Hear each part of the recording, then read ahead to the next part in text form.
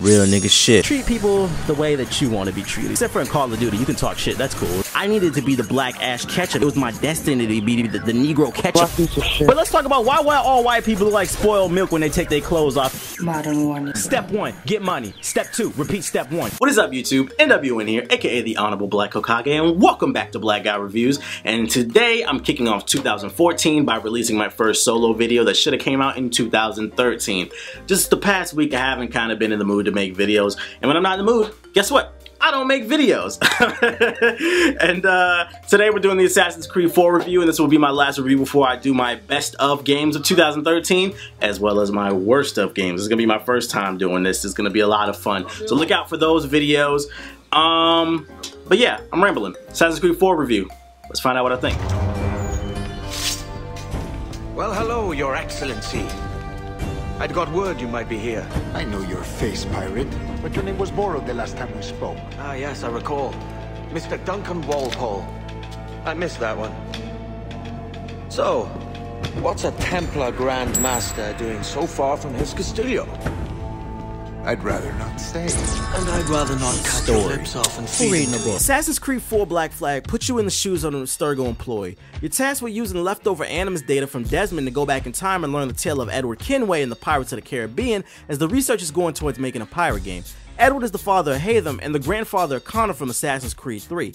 Feeling like life had more to offer, he leaves his wife and family behind to become a privateer. He promises his wife that he'll be back in two years, but ends up being sucked into the freedom and riches that the pirate life had to offer. This leads to him crossing paths with the Templars and Assassins, where he learns that the secret war is being waged. Eventually, he becomes the Assassin's errand boy, but only because the assassination contracts earned him money, which leads to a man who becomes eternally conflicted as he dives deeper into the creed. He's a good man who's trying to find a bigger purpose with the Assassins, but his lust for fame and fortune ultimately holds him back. Without spoiling anything, the story goes a little bit deeper than that, but not like the deep end of the pool, more like the middle of the pool.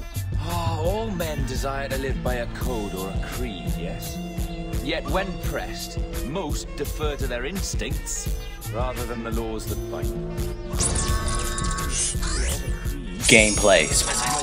Black Flag sees you running, jumping, climbing, shooting, killing, and sailing for 30 plus hours. The formula is pretty much unchanged. Do X amount of missions in this city, but instead of riding a horse to the next city like the previous games, this time you sail a ship. Mind blowing, right? The only thing that's new about this game is the pirate life activities. You'll spend a large amount of time on the sea sailing your life away. You can upgrade your ship's armor, the cannons, and they're now even mortars. The upgrades can only be acquired with cash and different materials though. Materials that need to be stolen by attacking and robbing other ships on the ocean. You can hunt whales, deep sea dive for treasure, attack forts, and more. How much you'll enjoy these things though all depends on your interest in the pirate life. Other than that, the game literally does nothing new. You still got side missions, fast travel, and multiplayer that was literally copy and pasted from AC3 to 4.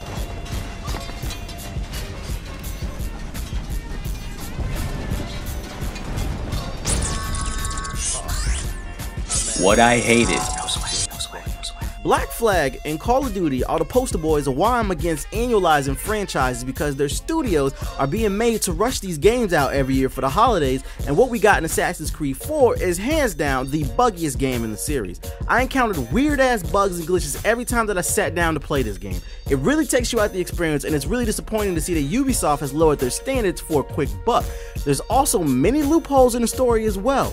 The game never bothers to explain why Edward has the same assassin skills as the previous protagonist. In AC1, Altair was raised as a child to be a cold-blooded killer. In AC2, Ezio could run and climb because that's what him and his brother would do as kids in their spare time. In AC3, Connor was raised amongst the Native Americans and that's why he could climb in trees. In Black Flag, this motherfucker just knows all the assassin skills out his ass for no damn reason. They do nothing to set up the story and it just kind of felt like I had no connection or sympathy for what he was doing. I didn't care about Edward. On top of that, the game isn't even about your skills as an assassin this time. This time, the game is about whether or not your ship is upgraded enough. There are literally times in this game where I wanted to throw the motherfucking controller because I wasn't dying based off my lack of skill, but because my ship's armor and cannons weren't upgraded enough. What essentially happens is the side missions are no longer side missions, but instead they're mandatory because in order to upgrade your ship, you need the supplies that can only be acquired from these side quests. And I'm going to be frank, I don't give a flying fuck about being a pirate, so I had zero interest in doing these side quests and these pirate activities. Thus, the game became a chore. This game was made for people who wanted to be pirates as a kid, but if you're like me and you never gave a damn about pirates, then you're going to have a hard time enjoying this game. I feel like Ubisoft made a pirate game, but attached the assassin's name on it for sales. And I say this because the game does nothing to push the story forward. Like I said earlier, Edward is the father of Haytham and the grandfather of Connor. So with a little bit of common sense, take a fucking guess what happens at the end of the game. All men will submit. And would you be the devil?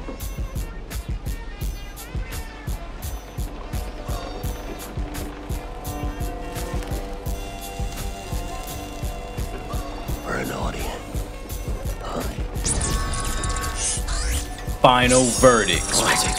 Alright, so final verdict on this game, because I don't want anybody thinking that I hate Assassin's Creed 4. These are my two verdicts. If you've always wanted to be a pirate as a kid, pick this game up right away, pay full price, you're gonna enjoy it. But if you're like me, when you were a kid, you didn't give a flying fuck about pirates, or you don't care about them now, but you're interested in the Assassin's Creed franchise, wait till the price drops, then pick the game up. So that's my two recommendations. Did you find this review helpful? Doubt that. But in case you did, make sure to give this video a thumbs up, comment, subscribe if you haven't already. You know all that bullshit. I'd like to thank you for watching. And if you want to subscribe to our podcast on iTunes, link in the description box below. If you want to submit your instrumental or your music to be featured at the end of one of my videos, info in the description box below. Had a quick brain freeze right there. And uh, if you want to subscribe via text message, info in the description box below. Thanks for watching, you guys. But uh, you know, see you next time on Black. That's not what I say. That is not what I say. Look at New Year. I'm trying to come over. No, y'all know the city needs me.